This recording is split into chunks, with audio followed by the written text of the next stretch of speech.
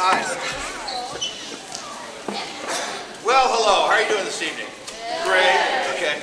And it is really getting closer to spring, I think. It's good to see you. You get better looking at me. I like the beard, by the way. You don't. Um, we really appreciate you coming today. I just wanted to give you a really quick introduction about this exploratory and why we do what we do.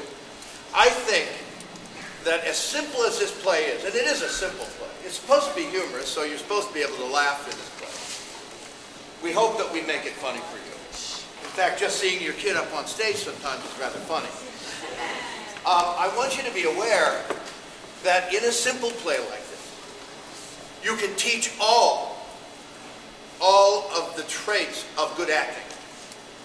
It doesn't have to be something complex. It can be simple. The most complicated kind of acting, I think, is humor. The timing, and you've heard all that before. But the thing is that these people have worked really hard for their hour and 15 minutes every week. And, well, what you see is what you get. And I think they've done a very, very good job. Again, it's a simple play about Merry Till Eulenspiegel. And I don't know how many people heard that name. Most of the adults, have met, you may have heard it if you listened to Richard Strauss's tone poem, Till Eulenspiegel.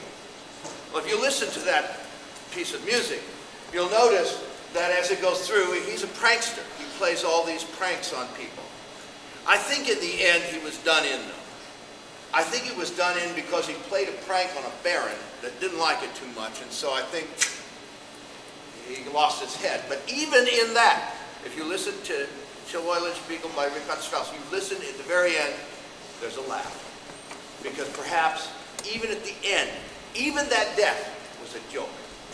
Because that's who Till Eulenspiegel was. It was back in the Middle Ages, and well, I hope you really enjoy it. Thank you very much.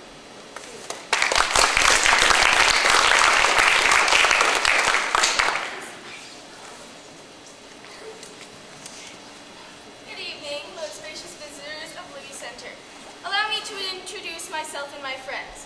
I am Laura Chamberlain, the Sheriff of Mullen, a small town in what is now the country of Germany. I have brought today with me some of my fellow villagers who are really students at the Odyssey program here at Libby. But please don't tell them that. They're really supposed to be getting into their parts for this play.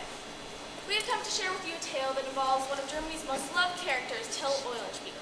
Don't say that name too quickly. Your tongue may become hopelessly tangled between your teeth. Anyway, Till was known as a prankster who felt that he was put on this earth to play jokes on other people. Not necessarily bad jokes, for he really loved people and enjoyed making them laugh. But at times, a good prank would get the better of him. I can honestly say that our town has never been quite the same since the very, very Till Eulenspiegel arrived. However, in this story, we will be able to see the more helpful side of Till as he helps an inexperienced young, young farm boy named Peter out of a difficult situation. So, come along with me and let's join my friends at the marketplace here in Mullinger. Oh, and by the way, this all happened in the medieval time in Europe, about 692 years ago, give or take a few days.